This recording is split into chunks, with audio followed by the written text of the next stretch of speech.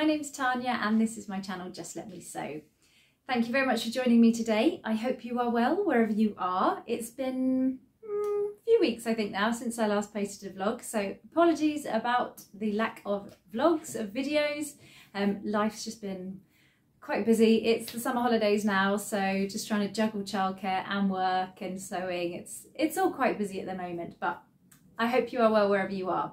So today's video, I want to talk to you about um, one make that I have finished. This was quite a special make for me and it certainly took me a few weeks to get that finished. Um, I also want to share a really special purchase that I made that I'm so excited about. It's beautiful, so, so excited. And then I'm going to be talking about my plans, my sewing plans for the summer. Probably a little bit ambitious, probably not going to make all of them, but those are my plans. So first of all, I finished making a dress for um, a very good friend's wedding that was this weekend just past up in Manchester. And I had in my mind I wanted to make a dress for her wedding, for her party. And I thought I'm going to make up a pattern that I've already made before so I don't have to worry too much about the fitting and the adjustment and everything because I've already made it and I went for this pattern which is McCall's M7974 and you can make it in different variations. There's a long sleeve version which has sort of like um, a bell sleeve at the bottom. Um, you can make just a normal straight long sleeve version. You can do a shorter length um, with the I think it's actually, no, it's cinched in, it's tied in with little ties, or you can do a sleeveless option as well. And they do also have an option to do a little collar, which I think is shown on version D, which you can't really make out very clearly, but there is a, a little collar. And it has this uh, quite plunging v-neck and then a panel, a panel along the, the middle section and you can go for a version that hits on the knee or you can go for the longer version which is sort of like a not maxi um, a midi length I suppose.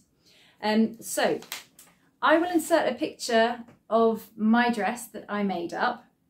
Um, I went for a sleeveless version thinking it's summer it's going to be warm. Um, the weather was actually pretty good on the day. It was due to rain but it didn't. The weather forecast changed the morning and it was an outdoor party. So we were really, really lucky. It was beautiful weather, not a drop of rain for us. So the sleeveless version went quite well. I did wear a jacket with it as well. Not a me-made jacket, just a, a shop ready to wear jacket. And I just wore it with trainers because it was sort of a, a casual-ish wedding. So I'll also show you the dress in real life now, please forgive me. I have literally just got this out of the laundry. I've washed it after the weekend, haven't had a chance to iron it. So it's looking very creased. But here it is. And I've, as I said, gone for the v-neck version, sleeveless. And I finished it off with lovely little shell buttons here. Now I did make a few alterations to this pattern. So if you watch my last vlog um, where I did a collaboration with Erin from Erin Sews, you'll see that um, I have found with the Big Four, when they get you to do a sleeveless version, they don't really get you to do a proper adjustment to it. So what I find you have to do is raise the arm side a little bit under here, otherwise it's going to finish too low. And also bring it in a little bit more on the shoulder as well like that. So that's what I did with this to get a nice a better fit a more comfortable fit. So I did that.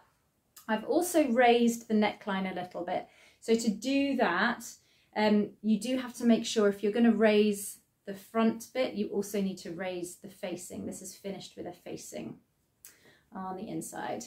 There. You could work around it just by um, crossing them over a little bit higher. It's going to be hard to show you on this fabric because it's so busy, but you can see there that I've managed to get my mid panel section meeting up bang in the middle there. So it meets spot on. Those two sections line up. If you cross them over higher up, you're not going to get them meeting. One's going to be higher than the other, which I didn't really want. So I did redraw that bit. Um, I would have liked to make the dress a little bit shorter. Um, I was really rushed finishing this up. As I said, it took me a few weeks to get this made up.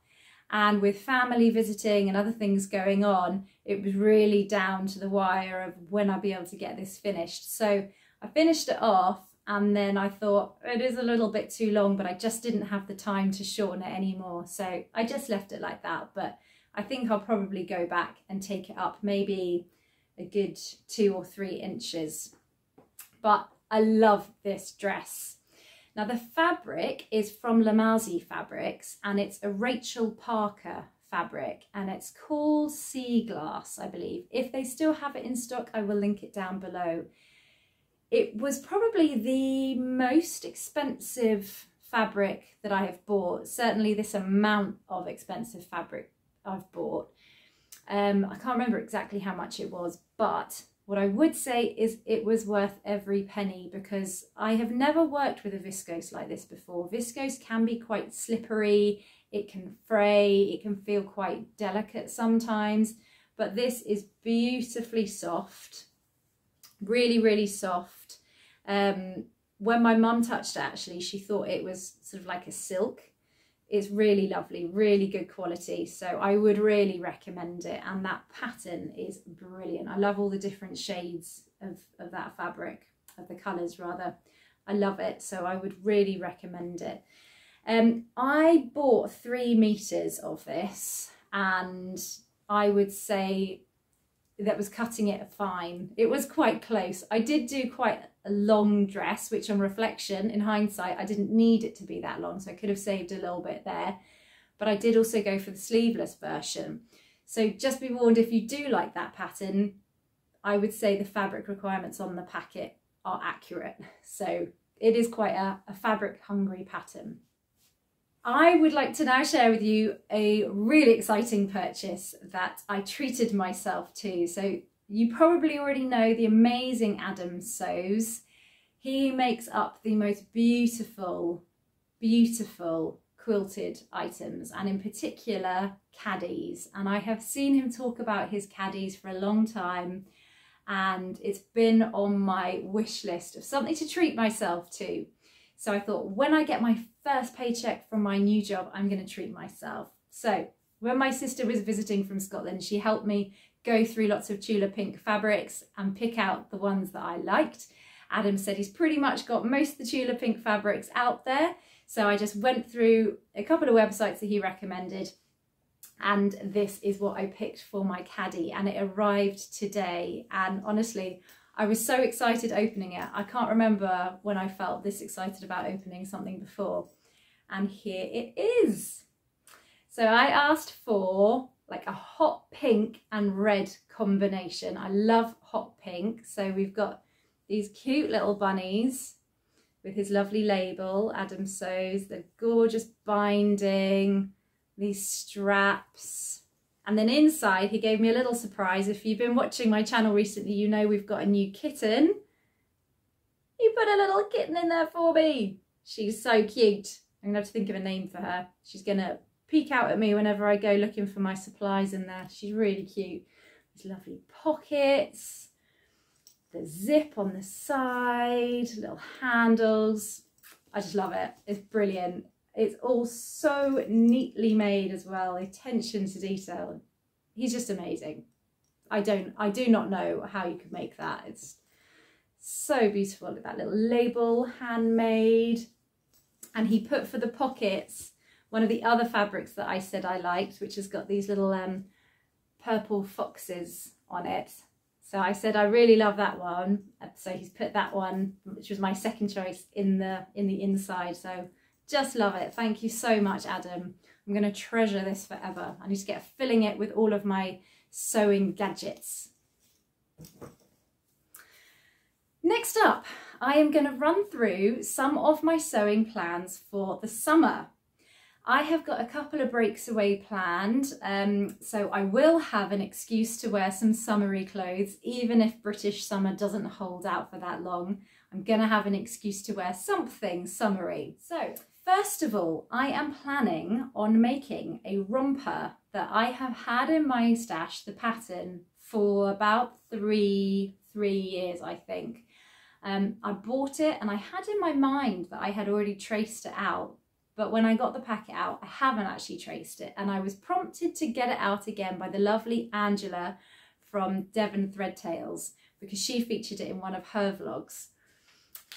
It's a Butterick pattern, Butterick B6330. I think possibly at the time of filming this, Butterick patterns might be on sale or that sale might have finished now, but they were half price quite recently.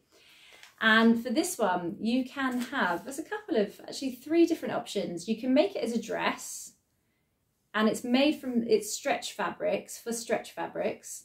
So a long maxi length dress. You can do a short dress version that they've got here. It, it's also got a jacket. You can make a nice little easy stretch jacket there or the romper. So the shorts version or the long version. And I love how versatile that is because here she looks quite smart and here it's much more like daytime wear. And then again with the jacket, it makes it look quite smart as well. So I am going to be making the shorter length version. As I said, it is stretch fabric. So it says pull over dress and pull on jumpsuit fitted through bust uh, with a blouson bodice, elasticized waist and back neck slit with button and thread loop all have stitched hems. So I'm going to go for this shorter version. And I didn't want to go out and buy new fabric for this. And because I'm making the shorter length version, I thought I might just have enough fabric in my stash. And I have found this fabric that I got a long time ago from Pound Fabrics. It was one of their cheaper ones, about £2.50 a meter and I have made myself a little um, bodysuit out of it. So I've got enough of this left. It's black with these sort of um, khaki splodges on it. So I'm going to make that. The second item I want to make up is something that I have already made two of. So my last vlog where I did my collaboration with Erin from Erin Sews, we sewed up this pattern, which is New Look 6434. And I have cut out another sleeveless version and it's already cut out here. I'm going to be using this lovely blue animal print fabric, which I had left over. I made a Rita dress out of this. So it comes together quite quickly. Um, and I thought, well, it's fresh in my mind. I'll cut out another one. It's nice, versatile, easy top to wear. You can dress it up or dress it down. So I'm going to be making that one. Hopefully that won't take me too long to make up. Another pattern I have had in my stash for probably the same amount of time as the romper is a Simplicity pattern. And this is Simplicity 8146 and it's got like um, um like a mummy and mini me version thing going on. And you can even make one up for for a doll as well if you really wanted to. So three possible sizes. And you can do it as the sort of play suit version with the trouser legs or they've also got it as a maxi dress version. So two options for you there.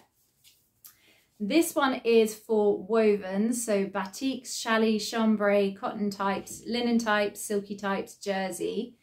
Um, and it is doesn't have any particularly tricky fastenings. It's just a pull on and you need some elastic cord for button loop at the back and it's got elastic around the waist.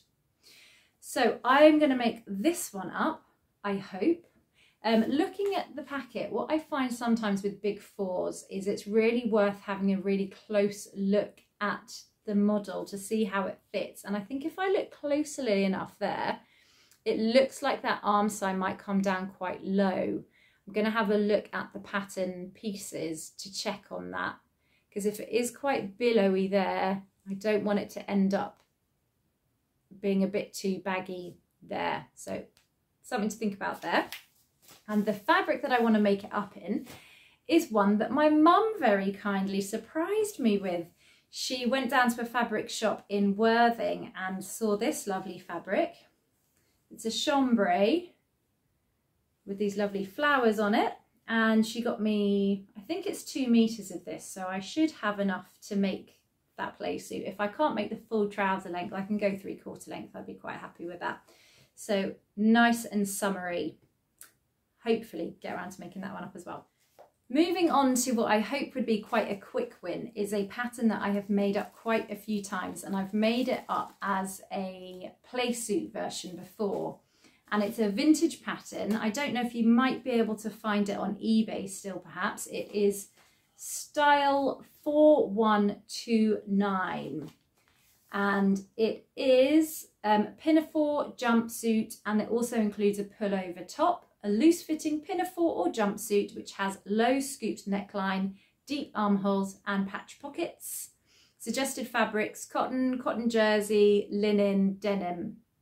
Um, and for this one, if you do happen to dig it out, if you like the look of it, it really is a very low scooped neckline. So if you wanted to wear it without a t-shirt, you would need to raise that neckline and also the arm side does go down really quite low so you'd want to raise that as well if you didn't want to wear anything underneath it.